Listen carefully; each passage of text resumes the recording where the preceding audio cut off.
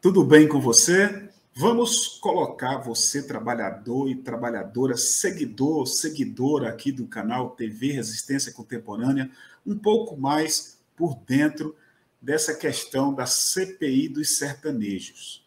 Essa questão da Comissão Parlamentar de Inquérito do Sertanejo surgiu nas redes sociais após a treta entre o cantor bolsonarista sertanejo Zé Neto, da dupla com Cristiano, e a Anitta, a fanqueira Anitta. O cara fez um ataque vil, covarde à fanqueira Anitta e criou essa treta aí. A partir desse momento do ataque, as redes sociais passaram a pedir a CPI do sertanejo. E por quê? Por quê? O Brasil, pessoal, tem cerca de 5.570 municípios. Grande parte, a maioria desses municípios são municípios muito pequenos e pobres. Mas tem municípios aí pagando de 200 mil, 200 mil reais a 1,2 milhão de reais a cantores sertanejos bolsonaristas, tirando dinheiro da educação pública, da saúde pública, para engordar as contas desses caras. Então, nós, como sociedade, como trabalhadores e trabalhadoras, os munícipes, as pessoas que moram nesses municípios, têm sim o direito de saber. Mas, Gilbert, essa questão da CPI ficou apenas nas redes sociais. Realmente, eu não vi ainda, porque é ano eleitoral, né? mexer com sertanejo mexe com os trabalhadores e trabalhadoras que seguem, que ouvem, que tem esses caras como ídolo. A gente sabe disso.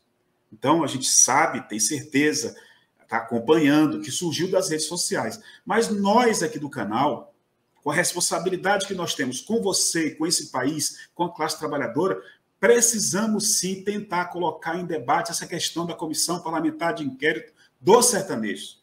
É impossível, é inaceitável aceitar esses caras que são apoiadores desse miliciano, repito, então são corresponsáveis por essa tragédia toda que nós estamos vivendo, ganhando milhões de reais nas costas de pessoas pobres, miseráveis, de municípios com a situação tão difícil que vive a maioria dos municípios brasileiros. E tirando dinheiro, repito, da educação e da saúde pública desses municípios. Então, nós temos que debater.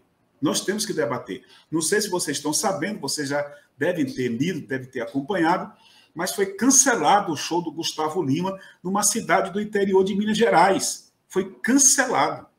Tá? Ele ia levar 1,2 milhão de reais. O prefeito de Conceição do Mato Dentro cancelou o show que ia acontecer dia 20 de junho. Só que tem um detalhe: mesmo com o show cancelado, o bolsonarista Gustavo Lima já embolsou a metade, 600 mil reais. 600 mil reais. E para terminar, tem um detalhe fundamental que eu preciso falar para vocês, tá? Um fundo que administra, uma empresa que administra a carreira de Gustavo Lima, pegou emprestado, olha bem, gente, 320 milhões de reais do Banco Nacional de Desenvolvimento Econômico e Social.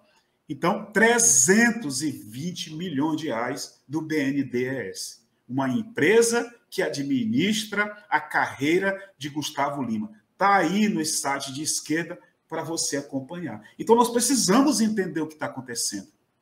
Não podemos ficar calados em relação a essa questão. Se for preciso instalar uma comissão parlamentar de inquérito, que seja instalada. Ah, mas ela é ano eleitoral. Ela funciona. Ela funciona e funciona bem. Pega aí seis meses que ela funciona. Porque nós temos que saber desses milhões de reais que estão enriquecendo esses caras e empobrecendo ainda mais as cidades. É um completo absurdo isso. Eu estou revoltado, não sei vocês. Se você também está revoltado, escreva aqui o teu comentário, se inscreva no canal, ajude a gente nessa luta. Muito obrigado e até o próximo vídeo.